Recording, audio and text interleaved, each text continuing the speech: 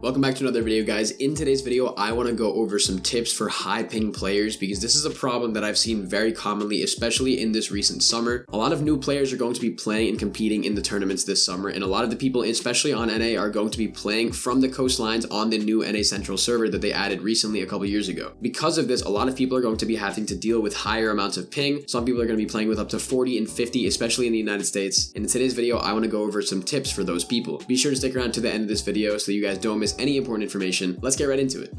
So to start off, a really genuine tip, this is going to be me being honest with you guys. The first thing is truthfully to just try and get ethernet if you can, and also try to close any other tabs on your computer which are going to be using network bandwidth this is going to be some tips for you guys to try and lower your ping as much as you can with your current at-home setup. I know for some people having ethernet is going to be somewhat of a problem and also having low bandwidth is going to be a problem with especially if there's a lot of users on your Wi-Fi or your internet network. Basically what this is going to be trying to do is lower your ping so that you guys are going to have the best scenario possible where you have the lowest ping possible on your server that you guys are playing tournaments on. And another tip is for you guys to apply some settings and I want to show you those right now. Alright guys, so I just quickly want to show you three different tips that are going to be very valuable for your success success on high ping. As you guys can see right now, I am on around 40 to 50 ping. This is going to be my average NA Central ping. It's going to be pretty high compared to my normal NA East ping, which is going to be around 10 to 15, whereas this is going to be around 40 to 50. Now, if you guys are on this high ping, the biggest thing I could recommend to you guys is to have edit on release on.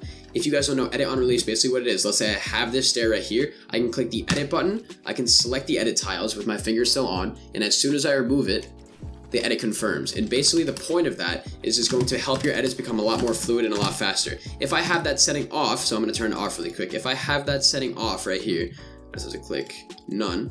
If I have that setting off, basically what that's going to do is it's going to have to make me select the edit by clicking F, then select the tiles by dragging across, and then I can let go, but then I'm going to have to click confirm. Now that's going to be causing input delay in three different areas. The selection, the selection of tiles, and then the confirming of the edit. So, you know, some people like to have it on because they think that it helps them move around better. Like, you know, you can move around better like this and then confirm it and jump. However, if you're on high ping, I really wouldn't recommend it. If you're on lower ping, I can see where it would be useful. However, if you're on high ping, don't use edit on release. Keep edit on release on. Another tip is going to be a setting I'd recommend you guys keep on. If you go to your video settings and scroll all the way down, it's going to say NVIDIA Reflex Low Latency. I'd recommend you keep this on and then plus boost as well. You have an NVIDIA graphics card, this is going to decrease your input delay and make sure that you guys are able to do stuff a lot quicker. Now guys, another crucial tip is going to practice different types of wall takes, focusing on wall timing, and also focusing on timing your edits right after you get the wall. So the first thing to do is to practice your actual wall take timing. Clix actually made a video a couple of years ago, back in 2019, the early competitive Fortnite days, explaining exactly how to take a wall and how to do it in the most effective and quick way possible. This is going to be a really old video, however, it's still really effective and applicable today. So I'd recommend you guys go watch it. I'm going to link it in the description. And on top of timing your wall taking perfectly, you also need to time the edits after you guys take these walls perfectly. Basically what that can mean is once you take a wall, you need to have the muscle memory to practice instantly editing it in the way that you want to. That's going to be crucial for a lot of players because what you have to do is focus on the idea of editing the wall instantly because that's going to decrease the amount of time in between your taking the wall, editing, and shooting your weapon. Basically, what you're trying to do by practicing these different wall takes is trying to minimize the amount of time in between you getting a wall and you shooting the opponent. Also, the next one is not really going to be a tip. It's kind of just something that you guys should do. If you guys are in a box at any point, don't hold walls. So don't try to battle for holding the wall. And if you have to, if you absolutely have to, then I'd recommend you guys keep two layers in between you. So that means that there's going to be two layers right here. So for example, the wall is one and then the stairs one as well. I'd recommend you guys keep those two layers in between you because that's what's going to protect you from somebody trying to get an offensive advantage on you. You're able to escape out if they do take your wall. Now, once again, don't hold walls. So if you're in a situation where you're like this or something, either edit the cone up and put two layers between you, or just don't hold walls and try to escape either out back, or you guys can go out to the you know back area instead of the side. Definitely try not to go outside because somebody can cone and floor you right here. I'd recommend you guys go either out back or another really good failsafe is go up but go this way. So you, are trying to not get piece control, not get outplayed, and the way to do that on high ping is to not hold walls. And if you do have to hold a wall, be sure to have two layers in between you. For example, this wall and then this cone right here.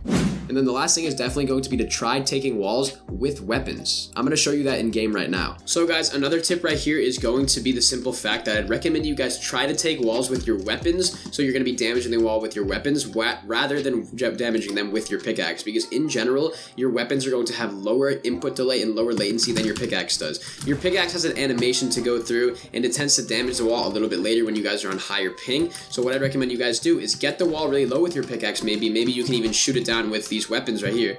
And then just try to take it by shooting and then replacing the wall because Two things that does is that the first thing is it's going to catch your opponent off guard. They're expecting you to pickaxe their wall because they don't know what ping you're on, they don't know your strategies, so they're expecting you to pickaxe the wall. And if you shoot with their weapon, then that's generally going to help you guys get the surprise advantage onto your opponent. And the second thing is that, like I said, weapons are going to tend to have lower input delay because all you have to do is click the button to damage the wall, and then what you guys can easily do is you can just take it right off the rip.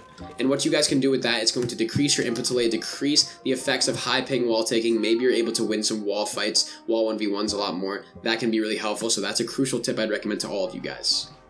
Now, another tip, guys, is definitely going to be prioritize playing on your high ping servers. This is going to be very applicable, especially for players on NA. On NA, there's obviously going to be NA East and NA West that you guys can play public matches and ranked on. However, I'd recommend that you guys play on NA Central because all of the tournaments, the Cash Cups, the FNCS, all the tournaments are going to be taking place on NA Central. So try to play on NA Central as much as possible because that's truthfully going to give you guys the best ability to get used to the high ping and used to playing on it. And of course, guys, another really important tip is to practice your other mechanics. Stuff such as aim and movement are crucial. Aim, you guys could easily practice it using Kovac. You could practice it using Scavix in-game. Other aim trainers are great as well. Clix has a great aim trainer. Mongraal also has one. If you guys are practicing your aim in-game, it's really going to help you guys get used to the ping, used to aiming with the ping, used to the input delay of you guys actually shooting somebody in it and registering as a hit onto them Having higher ping tends to make that have more latency in between, so you guys definitely need to practice mechanics like your aim using maps like those. And of course your movement as well. Since you guys are not going to be able to really focus on improving your ping for your building and editing, movement is a crucial mechanic as well. Focusing on moving around, making sure you don't get hit, being able to win those box fights and those 1v1s in-game with good movement, that's stuff that's going to be crucial. In order to get good movement, I recommend you guys practice that by doing movement courses, maybe playing some realistic 1v1s, and also genuinely just focusing on playing the game and focusing on good movement, right hand hand peeks, understanding the fundamentals of movement in the game. This stuff is going to be absolutely crucial to your success, so if you practice your aim and your movement,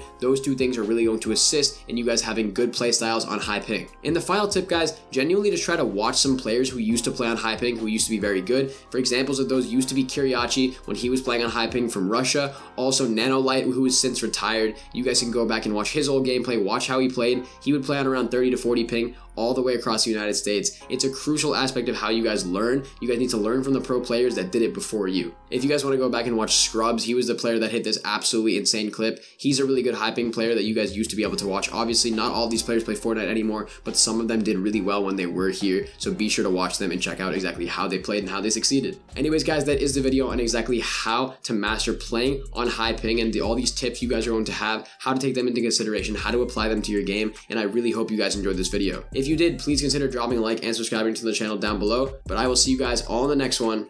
Bye, guys.